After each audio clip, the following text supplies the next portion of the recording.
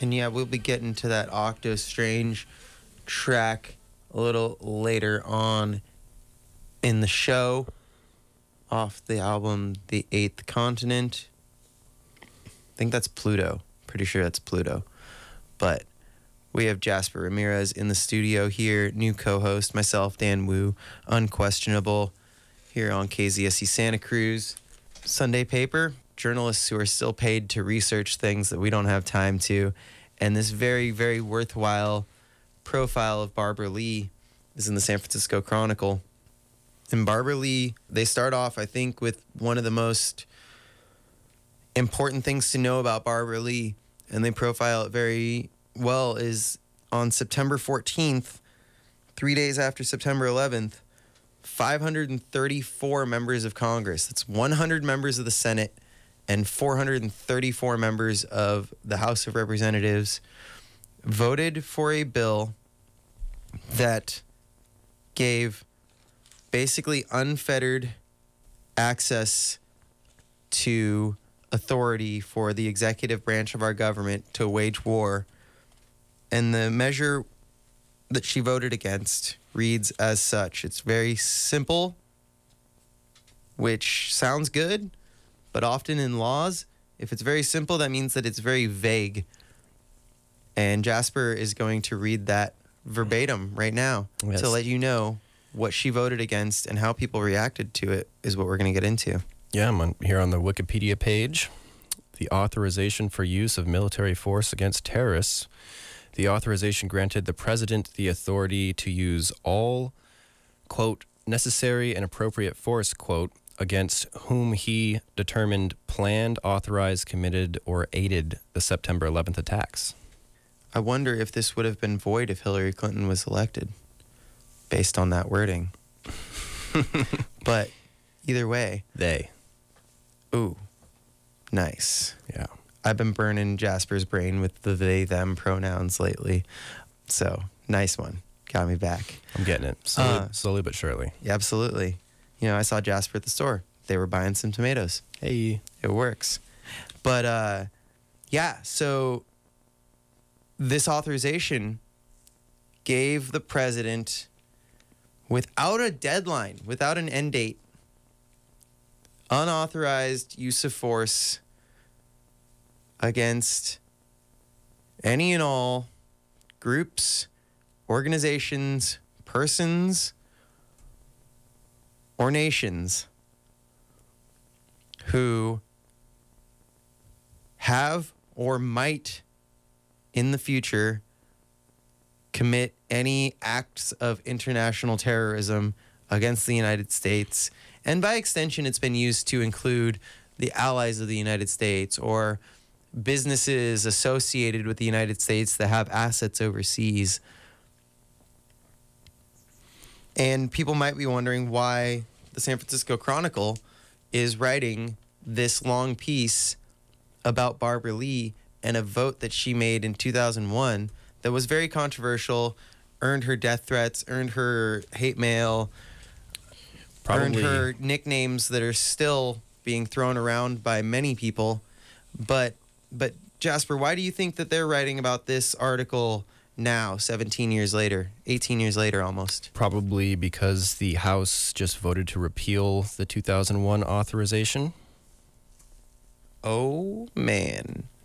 And also the House Representatives and the Republican Senate recently voted to curtail our ability to help Saudi Arabia in their war against Yemen or within Yemen against insurgent groups there against the wishes of the president and in a very very rare moment but it just shows how her one vote as one person and, and this is coming from a lifelong resident of santa cruz where even Anna Eshoo, Sam Farr at the time, voted to authorize this use of force.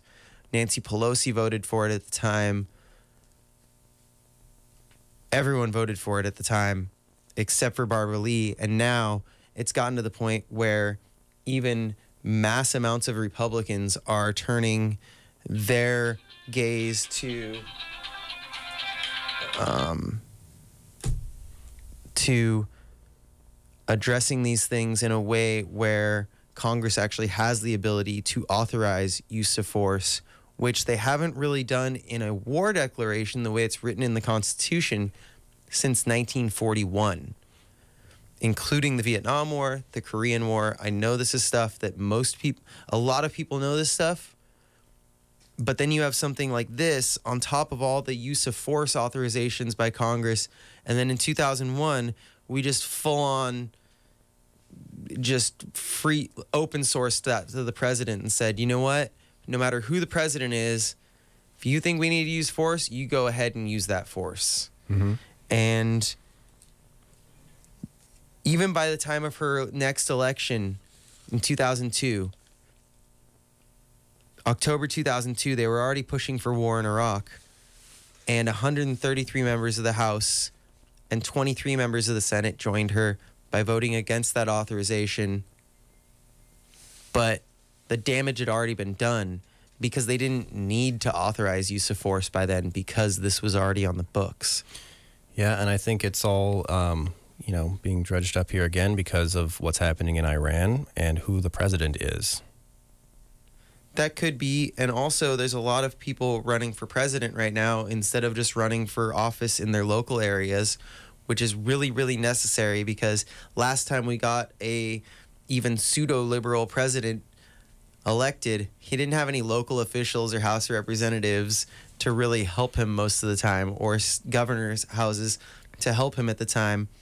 So we have 23 people running for president right now. And if you look back at their records, all of them that have been in office before this, they don't have the Barbara Lee record to actually say that they were against these things to begin with, although they're all, even the ones that didn't stand up for these things back then, are all jumping on the bandwagon and saying Barbara Lee was right. You know, and that's good. I think that's good to come around to realizing these things at a certain point. I'm not going to fault someone for changing.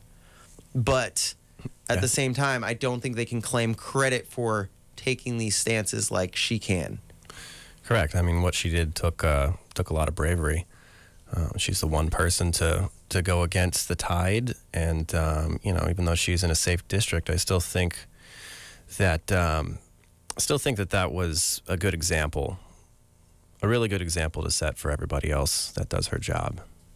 And it's not that she wasn't in favor of taking some action to respond to the World Trade Center and Pentagon attacks on September 11th. That's not at all what she was talking about. But profiles here how they had the vote the night of the September 11th memorial on September 14th, 2001, which I also think is probably way too quick to have a memorial for that type of thing, honestly. Like things were still on fire, literally. And so for for the com- country to move that quickly in the direction of just all out warfare and for her to keep her head together enough and talk to her father who was a veteran and talk to religious figures that she respected and to talk to a lot of people and be like I'm really conflicted about this. Like obviously something needs to be done. We can't just let people do this to our country or any country. But at the same time writing a blank check without a plan in place doesn't seem like a good idea. And it just shows you how a lot of right thinking people, I'm not demonizing them either for voting for it in a lot of cases. Some I probably would, yeah, demonize for it because they still just push for this all the time. There's a lot of people in office that just push for this type of thing all the time. But there's a lot of people that are very, very well thought out people but that fog of that moment was so strong and i think that has to be highlighted about how much she kept her head together to even be able to make that decision and be able to explain it in a way where even her own voters weren't like what is this what are you doing Correct. I mean, no matter what your politics are, um, somebody that believes something and sticks up for it against, you know, the flowing tide, uh, that's definitely uh, that's definitely a positive trait for somebody that's in office. You know, I, I certainly disagree with her on a number of issues, but um, I gotta say it was a it was a it was a very valiant move. Absolutely. Absolutely, says Daniel from a dark steel cavern, apparently, right there. Uh, and in honor of that, we do have a premiere of a new song, and I just wanted to highlight this uh, this profile a bit, and and just I just wanted to give Barbara Lee a little credit for for all of that, and it's not to rag on Sam Farr or Anna Eshoo, and uh, maybe Jimmy Panetta, the new representative from this area. Most of the places you guys are listening on the broadcast right now through Monterey County and most of Santa Cruz County and San Benito. Um, it's not to rag on him or Sam Farr or anything. It's just to give extra credit to Barbara Lee because those representatives did end up joining her fairly quickly in these causes once they were able to like get their heads back together and listen to some people and and think about the can of worms that conflicts always open and I don't want to separate that into being like, oh, you can't have conflicts in the Middle East without it being a can of worms. You can't have conflicts like that anywhere without it being a can of worms because people die and then like rationality goes out the window at that point and pallets of money disappear. And then we don't know what's going on anymore. And then you have to deal with all those problems, and that usually requires more drastic measures to try and fix those problems in the aftermath. And so, in honor of that, we're going to premiere a track that just by name kind of fits the situation. This track is by the group Octostrange. The Eighth Continent is the album, and the track is Alone, in parentheses, by myself. Lap and slide guitar, Matt Young. Saxophone, Mason Oram. Backup vocals, Mikey Holter, Benjamin, and Mason Oram. And lead vocals and lyrics by Allison Ducky Moppin.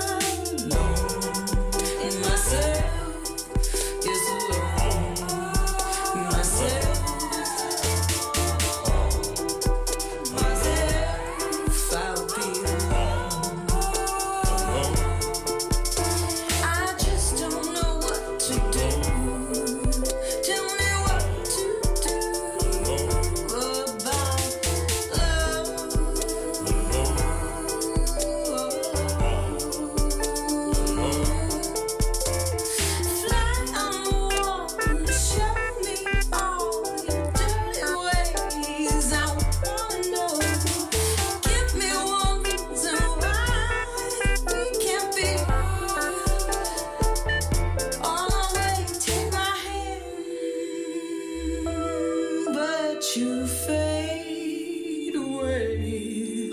Wish you'd stay.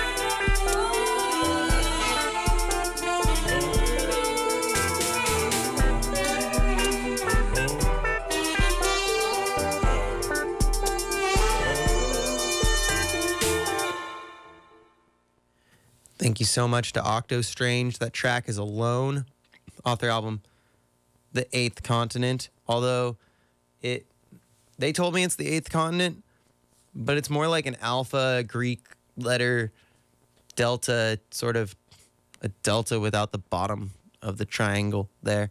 I forgot to mention that on piano, synths, and drum machine, we got Ha- Hanshan on there. And on bass, we have Tovin. So, that is that crew, Octostrange, that came to my attention today, and I listened to it, and I thought I'm gonna put that on the show. Speaking of putting things on the show, because they came to my attention, I went rock climbing at a gym, fake rock climbing, you know, because I'm a poser. Uh, honestly, just I don't have time to get out to the places I want to climb very often. So I've always gone to a climbing gym. And I walked in there and I ran into a friend I hadn't seen in probably eight years. It's been a Uh, while. Mr. Jasper.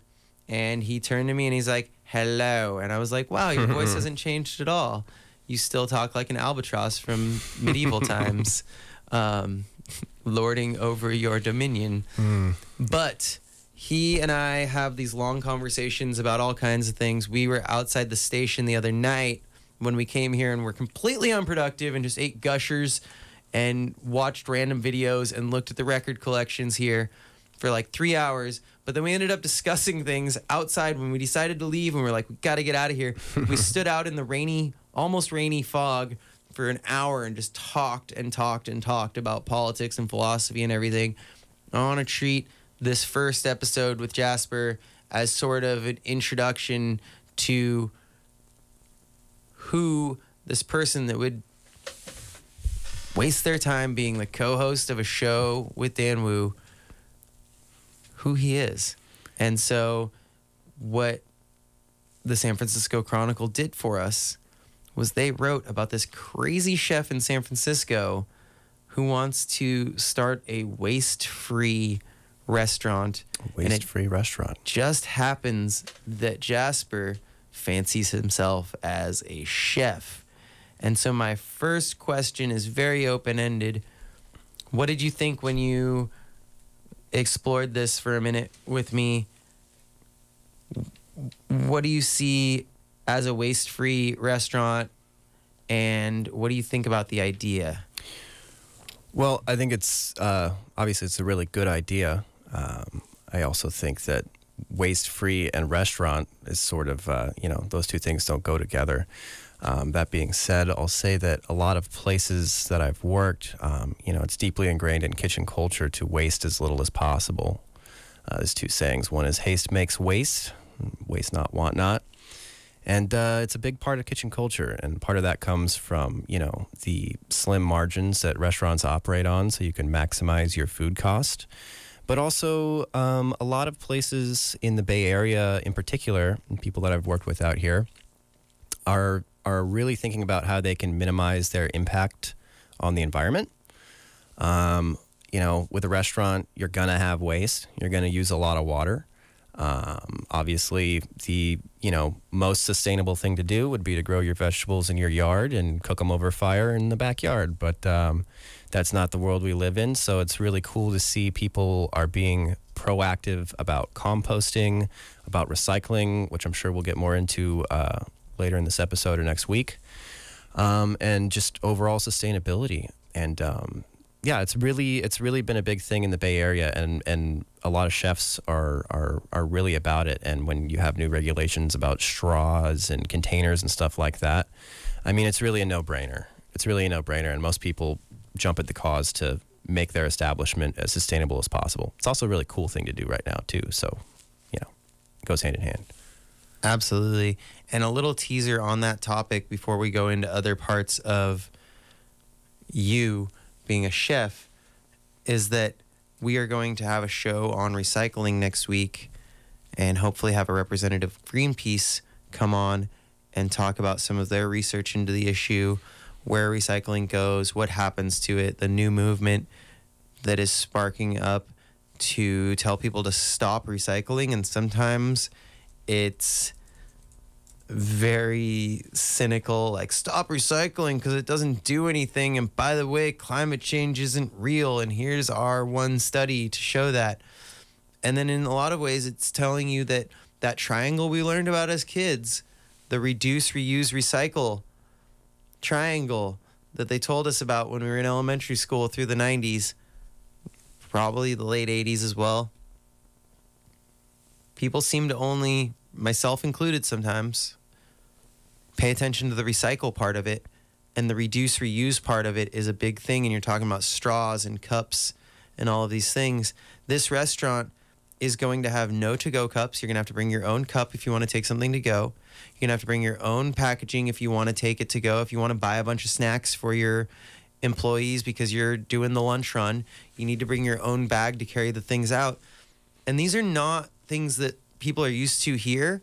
And a lot of places like uh, japanese culture for instance they a lot of japanese people and korean people have often asked me to and, and other places but i know those two specific places will ask me for a plastic bag and then when i give them the one they're like can i have another one? Because they're so used to having things double bagged just in case it breaks. And on the other end of the spectrum i remember going backpacking through europe and going to a grocery store in spain in barcelona. Luckily it was just across the street basically from the hostel i was staying at. But i bought like 12 things and when i got to the front of the line they were like oh where's your bag? And i was like uh i don't know what you're talking about. This was 10 years ago. Mm-hmm. And they were like well then you're you're you're out of luck. Sorry. Good luck.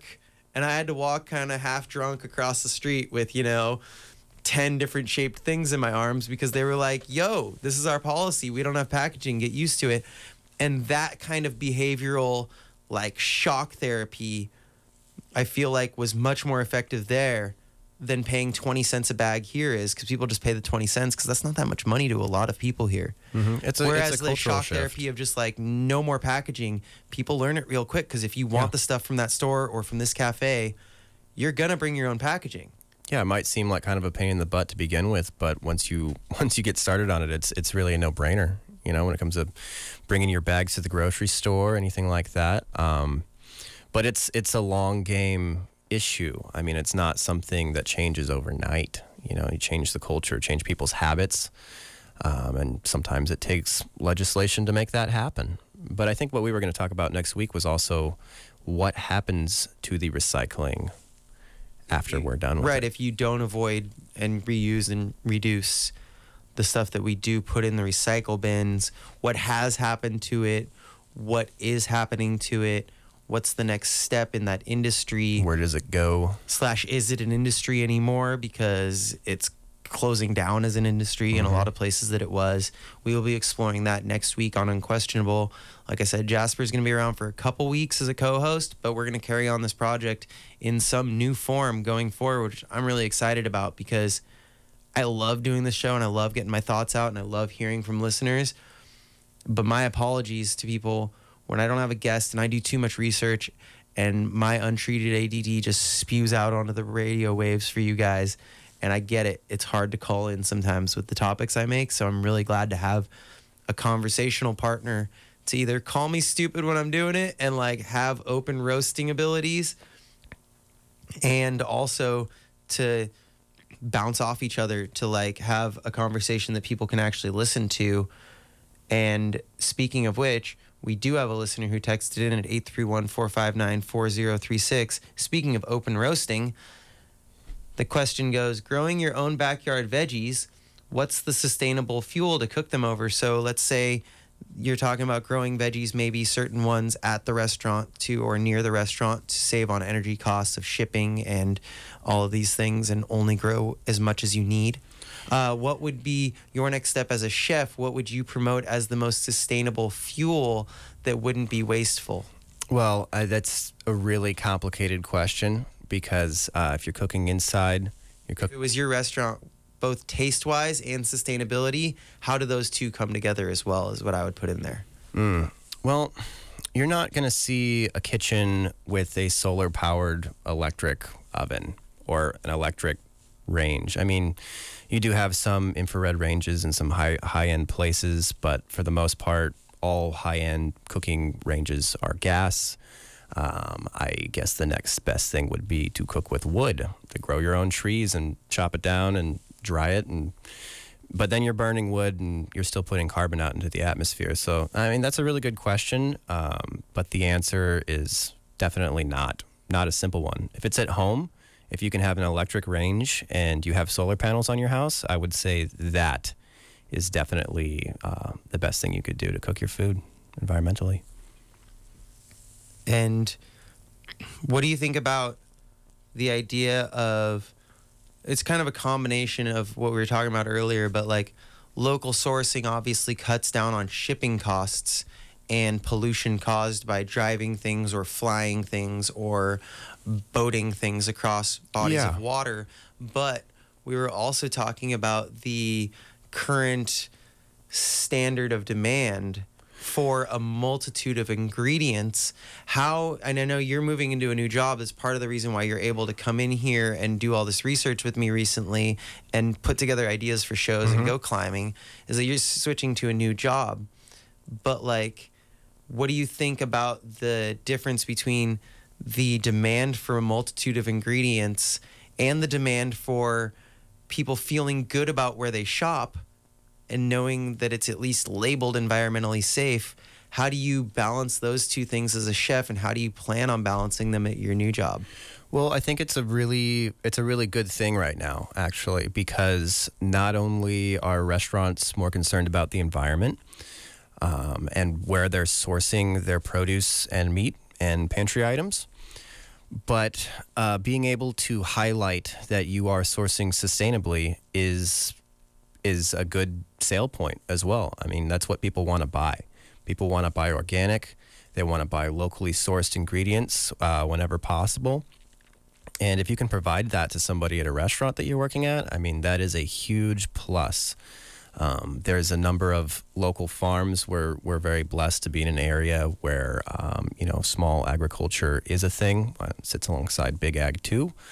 Um, but yeah, there's a number of local farms. Um, one is Mariquita Farms, and uh, the guy there, Andy, for instance, he uh, he the way that he grows vegetables is very special.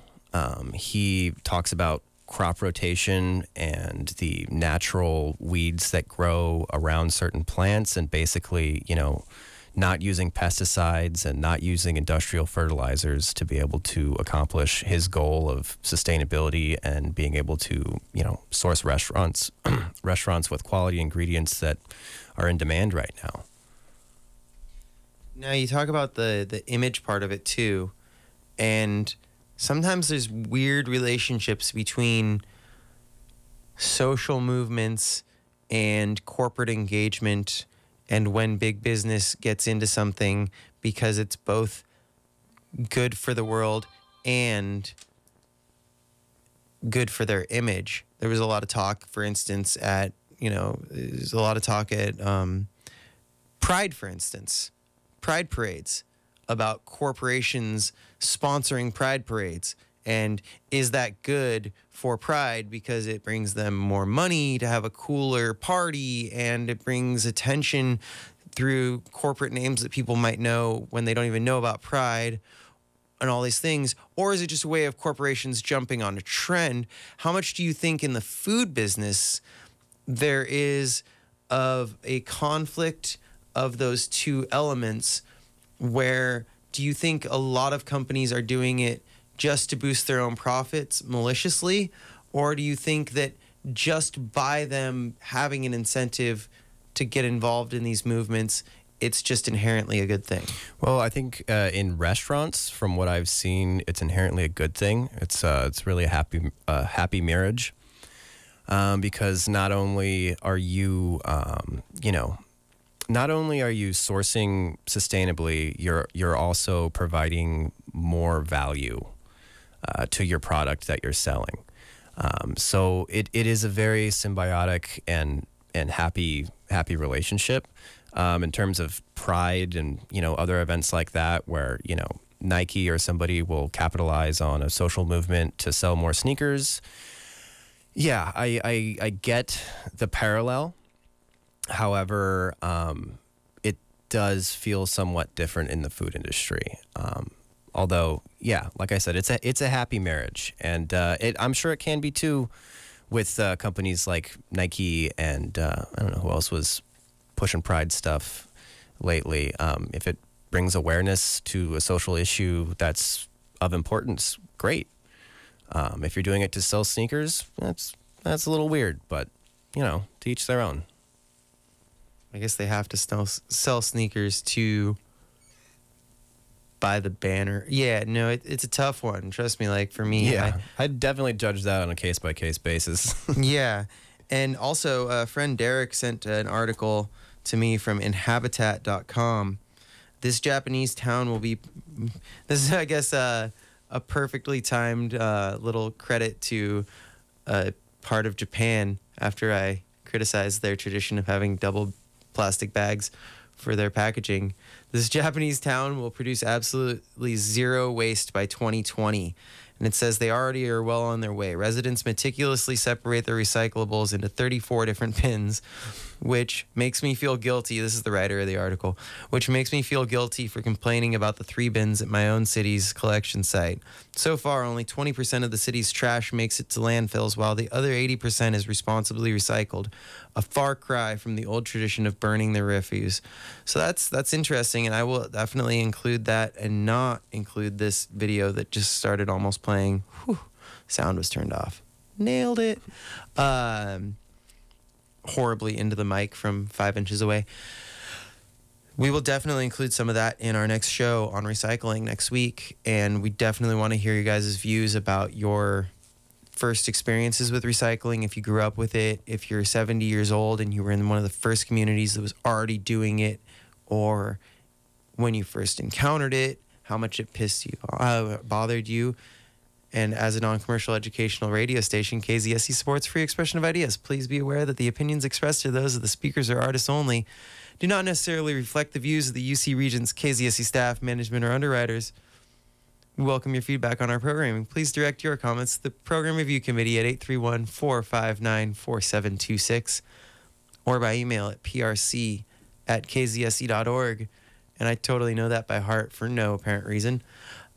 But I will include that in our show on recycling. We'll be asking for your views on recycling and that reduce, reuse, recycle show. And from that standpoint, I want to pivot to another issue that you are very familiar with in the restaurant industry as one of the now better paid people in that industry relatively.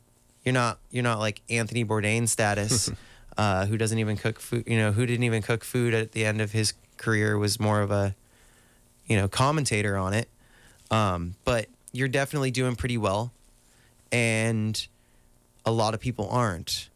And what kind of view do you take that as someone who is now on the upper side of deciding, you know, hiring people, fi- having to fire Yeah. people occasionally, um, having somewhat of a say in how much they get paid because you can at least um, give your opinion to the owner of restaurants in those regards. How do you approach the great disparity for like me as a service worker out in the front house who makes really good money right now, which isn't true of all of them, as opposed to the cooks? And, and how would you suggest someone like me actually does something without blowing up my own status in the world to help that system, you know, maybe pay the back house better?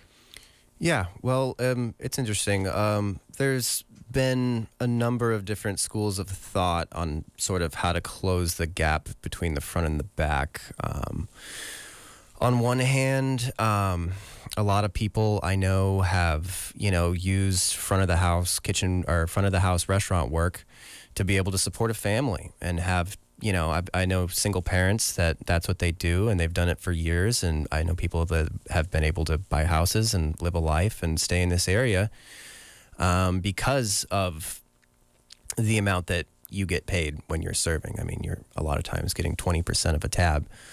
Um, and you know, you have people in the back that are a lot of times being paid minimum wage or a little bit higher than that.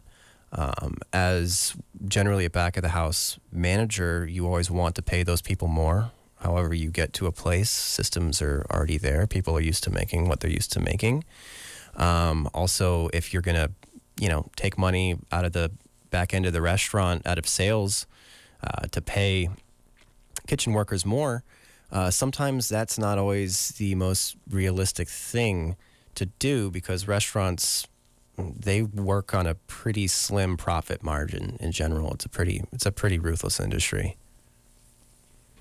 what do you think about places and and generally it's in higher cost of living areas where yes a lot of people are struggling to make ends meet but they're higher cost of living because there are a small percentage of people that are making enormous amounts of money Mhm, yeah. seattle boston san francisco where some restaurants are experimenting with putting a 3% surcharge on there so it's not a voluntary tip and it's not a tax that goes to the government it's literally instead of me giving 10% of my tips to the kitchen like I do, split between four people, it's like four or five people. I'm only able to give them like 2% each of my tips Yeah. um, reasonably because I still have to tip out other people.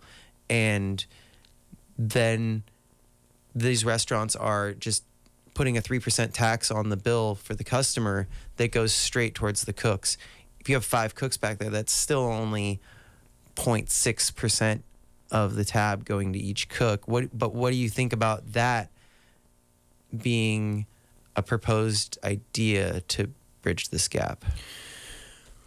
Well, I mean, I think that um, like anything helps at this point. I know in a lot of cities, uh, restaurants, uh, res- staffing is always an issue uh, for restaurants in front and back of the house. Um, and a lot of cities like San Francisco, for instance, uh, most people that are cooks in kitchens um, cannot afford to live in those cities. So they end up having to, you know, live, you know, if you're in San Francisco, maybe you live in Belmont or Pacifica or Oakland even and you need to make the commute to get into the city because you know places to live around a restaurant are just not affordable so I, I would say any bit helps for that i'm personally somebody that has no problem paying that extra 3% because i've seen firsthand how how the housing crisis here in the bay area has spread out and affected people especially in this industry it's a growing concern. It, really is. Staffing is a is a huge concern for restaurants right now. Uh, just being able to pay people.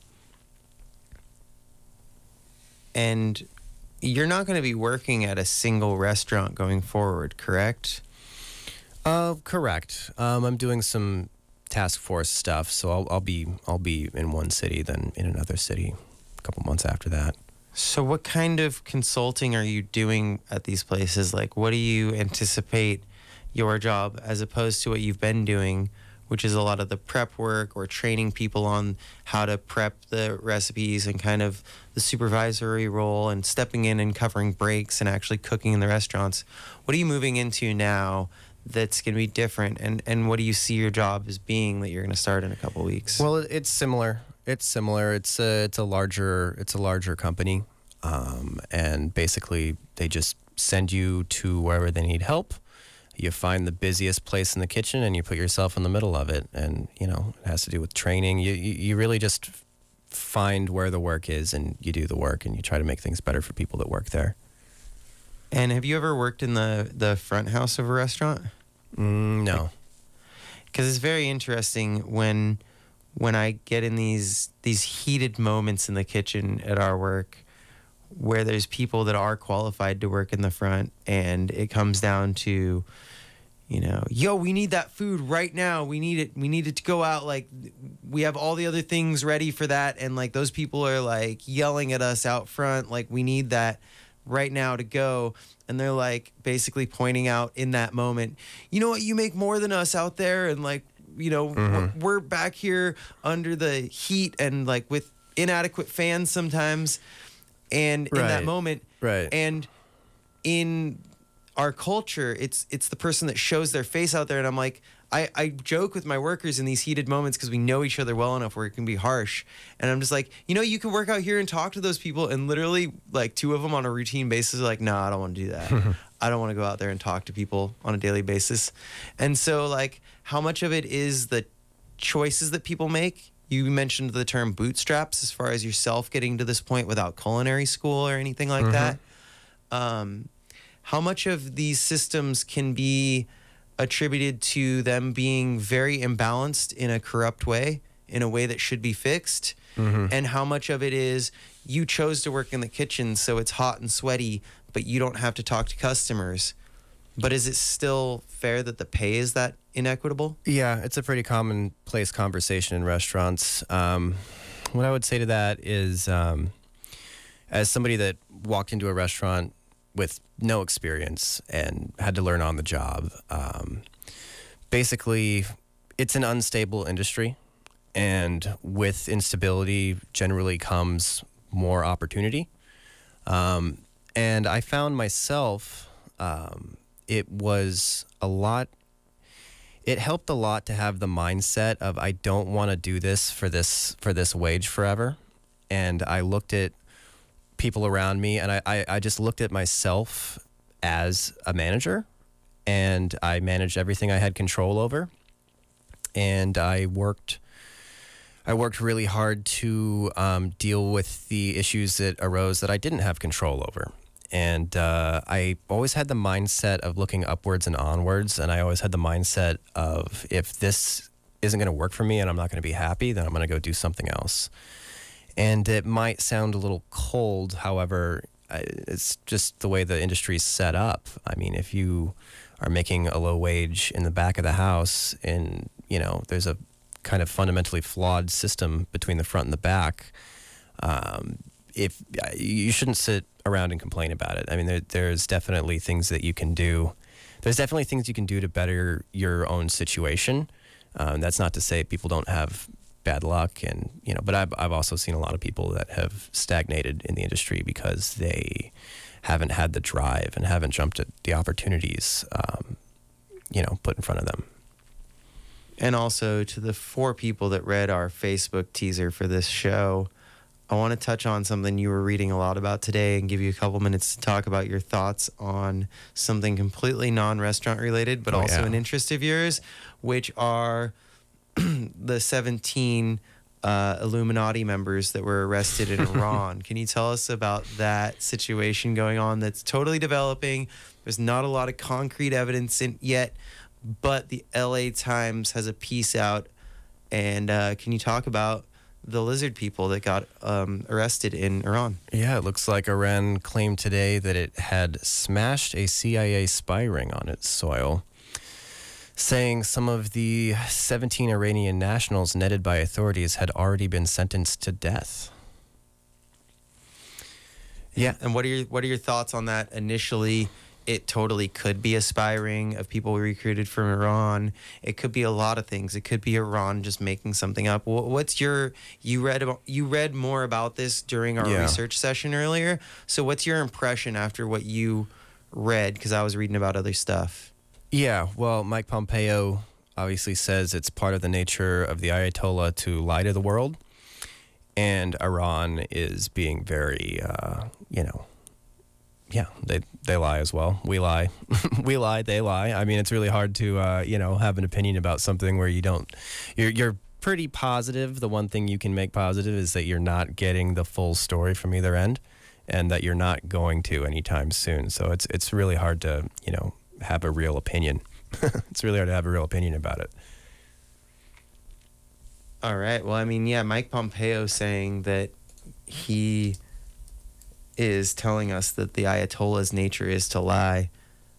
My personal impression of that is to laugh, but I have a very unappealing laugh to go out that loudly on the air, so I will spare everyone that idea. But we're going to be transitioning from this episode of Highly uh, Unquestionable with Jasper Ramirez and myself, Dan Woo, here in a minute. And thank you so much for Jasper for coming in, helping me out with the show the last couple weeks. He's going to be here next week for the recycling show, and we'll see where it goes from there. But thank you for giving us a Oh, chance thank to you, find out who just appeared on the air asking questions last week of Sabine El Gemayel. We have that episode with the director of Generation Zapped up on kzsc.org talking about the real or possible or needing more research risks of Wi-Fi and cell phone technology up on kzsc.org as a podcast unquestionable. Generation zapped was that documentary. That is also available in many places. And i got a text here um, oh yeah from my mother. Uh, they walk they wear the sneakers she wrote and i said who? And she writes many people that walk in or watch the parade the pride parades realized my statement was unclear as our family often does not realize until afterwards. Uh, but yeah she was talking about the hardworking people that are in the parades wearing the nike sneakers. I just figured out what that connection was. Ah. wow. Our brains do work in very similar unclear ways. Shout out to my hazy lineage. Um, but we're going to go back to the show highly questionable on the back end of this conversation we're going to have some music coming up for you for the next hour in the jazz punk and hip hop region of musical history but as a throwback and in honor of Allison Ducky Moppin and their new project Octostrange with Tovin and Lyrical Eye and all kinds of folks appearing on that project. Here's Mirrors by Homebrew, their previous incarnation. We'll be back here on KZSC Santa Cruz in just about three or four minutes. We're, we're gonna play a song called "Mirrors" for you today. Mm-hmm. I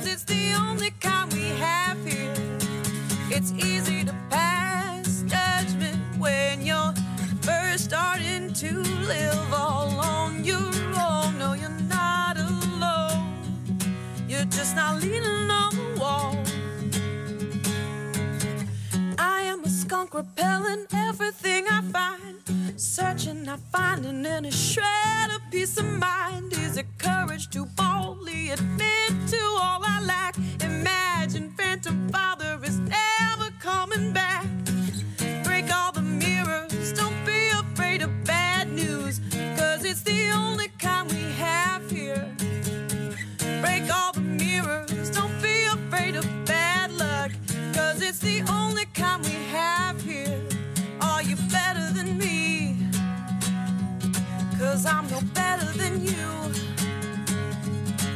Are you better than me? Cause I'm no better, no better. I play my hand